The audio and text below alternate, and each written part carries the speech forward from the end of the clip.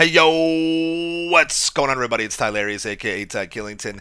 Yeah, man. Alright, in today's video, I'm going to be talking about the weapon wheel and the type of weapons that you should keep in your weapon wheel while playing GTA 5 online. Kind of going over what I use and recommending the type of weapons you guys should be using on a daily basis because there's a lot of them.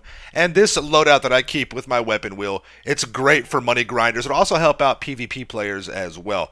Alright, in the comments down below, let me know what you guys think about my weapon wheel loadout and then talk to me about what you guys use the type of weapons you guys keep in your weapon wheel, alright? Be sure to subscribe to my channel with notifications turned on so you guys don't miss out any future videos like this, live streams, money guides, tutorials, everything, alright?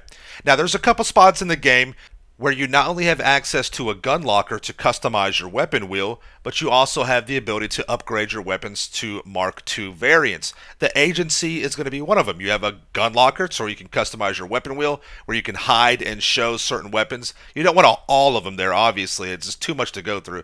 But you can also go to the requisitions officer, and you can make upgrades. You can purchase or make upgrades to a lot of your weapons to the Mark II variants. This is also where you can customize with your weapon tints, your livery, all that good stuff as well. And again, a lot of these weapons can be upgraded to Mark II variants, uh, where you can you know customize the type of ammunition that you use, and you can also just kind of customize the look of the weapons.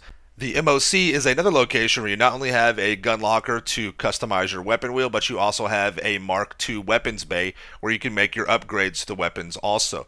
That's very important. So these two locations are probably some of my favorite to go because I have access to both. But you've got your bunker, you've got your CEO office, you've got pretty much anywhere that you have a living quarters, your auto shop, you can have access to at the very least a gun locker. And don't forget, in your interaction menu via the inventory section, you can disable your weapon loadout and you'll have access to all the weapons that you own, alright? Now, I'm going to go over my weapon wheel loadout. I'm going to start at the top with the pistols, go over everything with you, all the upgrades I have, and kind of talk about why I use them, okay? Let's start first with the 50 cal pistol. With the 50 cal pistol, I have the suppressor, the extended clip, and the flashlights. I use this pistol a lot. I always recommend it. It's a great uh, pistol to use for the stealth missions in the game, whether it's a, during a heist or just regular contact missions. It's really good, and I find it very helpful, all right? Next, obviously, I use a flare gun. I keep the flare gun in my weapon wheel. I do this because not only is it just a fun, uh, you know, weapon to have, you can set people on fire with it, but this is actually it, you can utilize it to protect you against incoming rockets. It acts like a regular flare from a plane or a Mark II, where it will deter rockets. Now, next we have the AP pistol. I use the extended clip and the suppressor with this again for stealth missions, but the AP pistol is like a workhorse of the pistols. You could use this for everything in the game. It can be used inside vehicles. It takes a little bit longer to unlock than, say, like the SMG, but I do use this over the SMG more often than not. It's just a great pistol to have in your inventory. Next is the Up-n-Atomizer, probably one of the most important weapons in the game. It's good for just having some fun with your friends, for PvP if someone's going to run you over the vehicle, uh, and also as a money grinder, this thing has helped me get so many post-op trucks unstuck from like a bump in the ground. It really does help out. Definitely a must-have. Next up, we got the Combat MG, the Mark II variant. I use the grip, the muzzle brake, the heavy barrel, the extended clip, and the large scope on this guy. The Combat MG Mark II, another just workhorse weapon. I love the fact that it has 200 rounds in the magazine, so you can shoot a very, very long time uninterrupted. I use it a lot for when there's a lot of enemy NPCs around, or even in a PvP situation, it works very good. It hits hard and it's a very effective weapon to use. Now, next up, we've got the ARs, the carbines, your assault rifles, right? Now, I use a combination of three different assault rifles in my weapon wheel loadout, and the main difference is the type of ammo. All right, now I know you guys may use different carbines with different ammo, but really these carbines are very similar together. They're very, you know, swappable, and you can kind of mix and match. First, we got the Special Carbine Mark II. I got the grip, extended clip, flashlight, heavy barrel, and the holographic sight. This is the one that I use with standard ammo. As a matter of fact, today I swapped this one out for another one of my other carbines for the standard ammo. All right, again, you can swap these out. I know a lot of people use different carbines for different things, but I still feel you need three for the particular types of ammo. And let me explain. Next, I got the Bullpup Rifle Mark II. The grip, I use full metal jacket rounds, flashlight, heavy barrel, muzzle brake, and medium scope. I use one rifle with standard uh, ammo for NPCs. I use one rifle like the bullpup with the FMJ rounds. The FMJ rounds allow me to shoot through bulletproof glass. This is mainly for select um, NPC missions and for PvP play. If someone wants to roll up in a vehicle like a Buffalo STX with bulletproof glass, I can shoot through and score a kill. Now I also use a Carbine Mark II, small scope, heavy barrel, and I use the armor piercing rounds for this one with the grip and the suppressor. I use the armor piercing round ammunition with this rifle because it allows me to score a one shot kill against enemy players that are wearing a bulletproof helmet. It negates their armor. Again, you can swap out those three different types of ammo with these three different types of ARs because these are the better types of ARs to use in the game, alright? Next up, we got the sniper rifles, and the first one is the Heavy Sniper Mark II. I got the heavy barrel, the thermal scope, which is definitely needed, the muzzle brake, and explosive rounds. Now, this is another one where you can swap out ammo. You don't have to have the explosive rounds with this one. I do like to have it. Uh, we all know that Rockstar sometimes deletes out your ammo with these guns. It's weird but I do like having that uh, ability to have the explosive rounds. But a lot of times I just swap back to the standard ammo.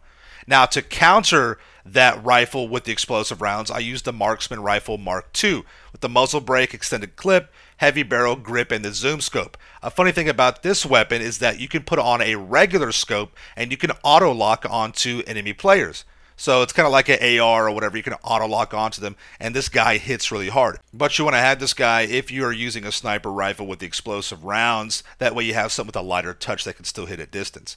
Next up, we got melee weapons. I only carry one melee weapon. Again, it's another very unique and very important weapon in this game. One of the most important weapons, in my opinion. That's the stone hatchet. This thing is gnarly. When you score a kill with the stone hatchet, it puts you into psycho mode, and you can absorb a insane amount of damage. You can you can absorb so many enemy NPC rounds. It works in free mode. It works in a tremendous amount of different types of missions. It really helps out for the money grind, and it's very fun to have. And you can also use it on a motorcycle, like you see right here, which is really cool. Definitely recommend having the stone hatchet.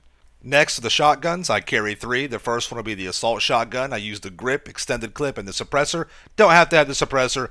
I just like the way it sounds. I also carry the pump shotgun Mark II, mainly for the explosive rounds. It's good to have those, okay? But you don't have to have that in, in your inventory. I just have it for extra backup.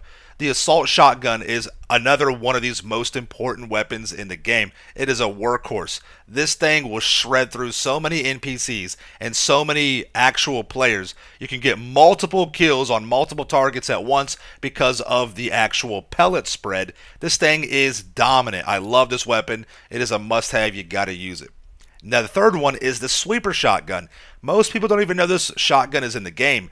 I use this shotgun primarily for one reason. You can use the sweeper shotgun on a motorcycle, and it's like a mini assault shotgun. It is a fully automatic uh, shotgun that is devastating, and when you're on a motorcycle, you can score a lot of really easy kills uh, where aiming may be a little bit difficult. And this thing is just nasty, so I highly recommend it for being on a motorcycle. Next up, we got the heavy weapons. The first one is the railgun. I was worried that the railgun, when it came out, would be used as a griefer weapon. I got to give Rockstar credit where credit is due. They have balanced it out, and this has actually turned out to be quite a useful money grind tool. If you have a standard sniper rifle with non explosive rounds, this can be your long range explosive round uh, option for that, so it definitely helps out. Now, next, we've got the grenade launcher. Yes, I use the grenade launcher. I like to have a fully automatic option for explosive rounds. And the grenade launcher has good range. It comes in handy. It takes out vehicles. It's just good to have the extra firepower in your back pocket. Next up, obviously, the RPG, man.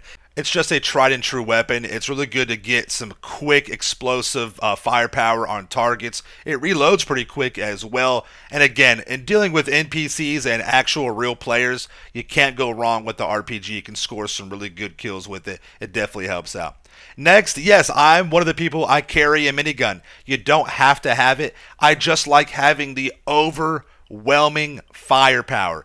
Having uh, 9,999 rounds at your fingertips with no reloading at all, just uh, no uninterrupted firing. You're just going with it. I love it. I also carry the compact grenade launcher, another weapon that most people don't even realize is in the game. And I carry this for one reason it's another weapon that you can use while on a motorcycle. So I now have explosive capability on a motorcycle uh, driving around freely. So I definitely recommend that. Now we're moving on to the throwables, and I keep a lot of the throwables in my weapon wheel, uh, more than what I used to. I keep grenades. I use uh, sticky bombs as well. I use proximity mines. These are all useful for you know making money against NPCs. Uh, they're all useful against uh, actual players in the game. I got the pipe bomb. I use tear gas. Uh, tear gas is effective against NPCs. It helps out it's definitely something to keep in mind. Molotovs use that for you know payphone hits. Jerry can I keep that as well for payphone hits and just having fun in the game also. Now, you can probably get away with not having as many throwables in your weapon wheel as I do, uh, but I like to have a few extra just in case. You can probably get away with using the grenades, the stickies, the proxies, the molotovs. You can use these to set up a corner in a defensive position and wait for an enemy NPC to roll up or a player, and uh, you have an explosive option, then you can follow it up with some machine gun rounds or ARs. So, and again, the Molotovs, obviously, you can use those on a motorcycle as well. Those come in handy, again, for NPC missions and for against real players. Just good to have. And one thing that I'll, I get a lot of questions about people will see me playing the game and I'm shooting and throwing uh, throwables at the same time. They're like, Ty, how do you do that? It's real simple. As you are aiming down sight and shooting, whatever throwable that you have selected in your weapon wheel, you just tap the left arrow key and it will toss out a throwable. You saw me throwing the grenades uh, with a uh, sticky. You can toss one and then you hit the left arrow key again and you will explode that sticky. So those definitely come in handy. It's a good tactic to use, so that's how you want to do that, all right? So there you have it. Again, let me know what you guys do with your weapon wheel loadout. Let me know in the comments down below. Thank you all so much for watching. Make sure you are subscribed to my channel for the Hills Reels content in the game. Smash that means smash that like button. See you in the next one, all right? Peace out. Yeah.